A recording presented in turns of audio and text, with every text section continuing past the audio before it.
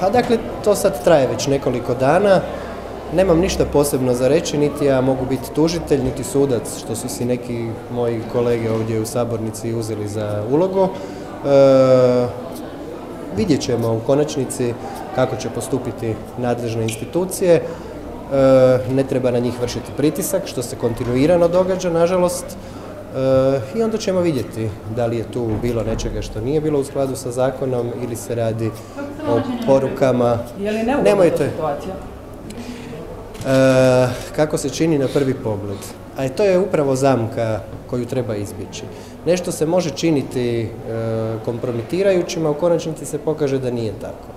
Imamo primjera kolega političara koji su bili već osuđeni i medijski od javnosti, posebno od oporbe, pa se na kraju pokazalo da nisu odgovorni, niti su bili krivi. Dakle, s pozicije predsjednika Sabora neću govoriti ni o čijoj krivnji, neka se time bave nadležne institucije e, i nemojmo suditi na prvu loptu. Dobro, Mislim, je li da to situacija za vladu u ovom trenutku?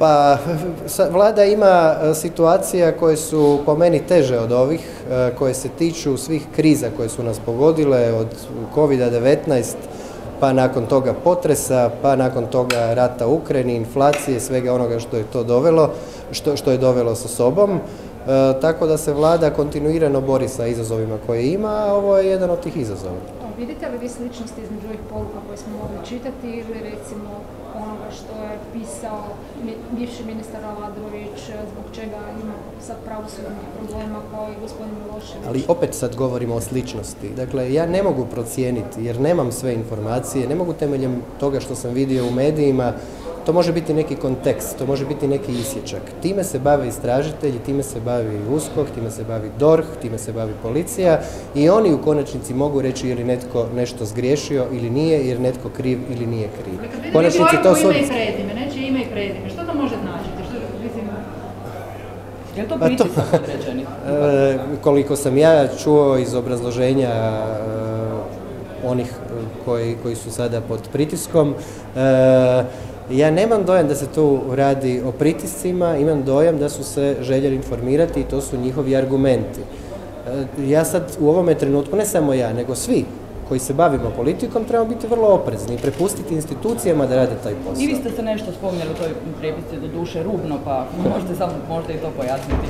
Ali e, što želite da vam objasnim? O čemu ste vi komunicirali dakle, sa višim šefom Hrvatskih šuma koji očito ima cijelu plejadu i ministara i saborskih zastupnika HDZ-a koji su imali potrebu mu se javiti i raspitivati. Jeste pročitali e, u nacionalu što je on meni pisao? On se u stvari žalio vama na meni, Meni se on žalio ovaj, e, zašto je odabrao baš mene i je li se samo meni žalio, to ne znam, to je vrlo teško reći ali e, činjenica je da tu nema apsolutno ništa što je sporno. mene nije pitao u upravljanju e, poduzećem, niti u bilo kakvim kadrovskim odlukama, nego je, upravo ste dobro rekli, poželio se na neke odjeke političkih zbivanja koji su se događali, dvije ili tri poruke su vezane za nemogućnost e, uprave, nadzornog odbora i skupštine da se dogovore oko nečega pa tu moli da, da o tome obavijestim predsjednika vlade. E, a ove druge dvije poruke, ne znam, nekav štrajk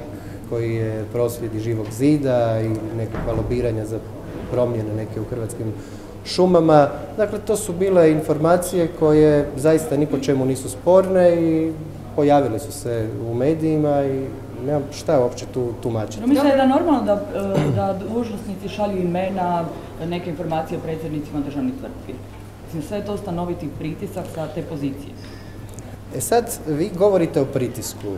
Ja ne mogu reći da je nešto pritisak dok ne vidim cjeloviti taj e, materijal.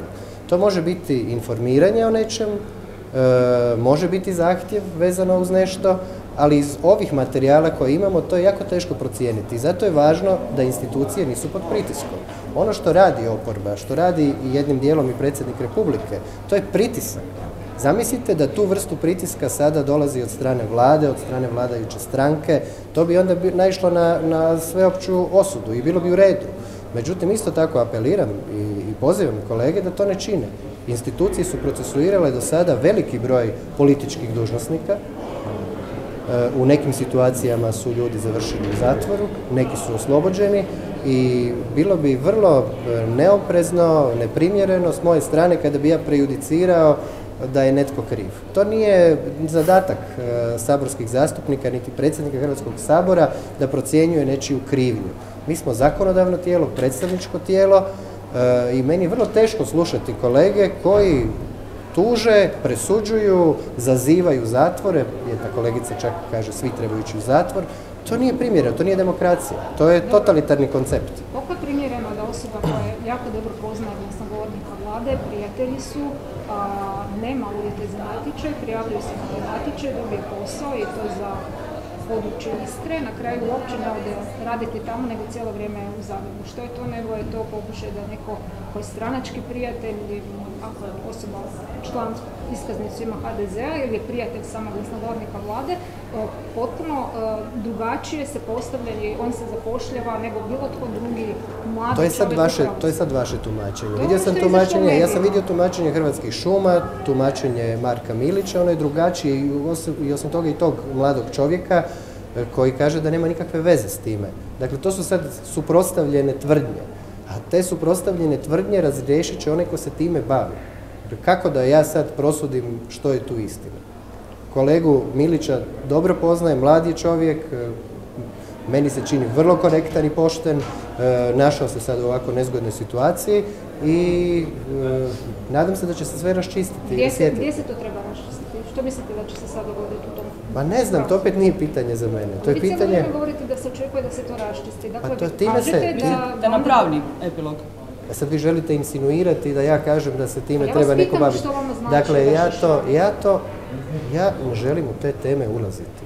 I neozbiljno bi bilo, neodgovorno, nekorektno, e, suprotno demokraciji da se saborski zastupnici takvim temama na taj način bave. Mi možemo politički to komentirati, možemo se politički nadmetati, pa i oštro, ali ovako nešto činiti po meni nije fair. U jednom trenutku porukama se spominjao i AP, premijer kaže da ne zna je li to on, mislite da je tu riječ o premijeru?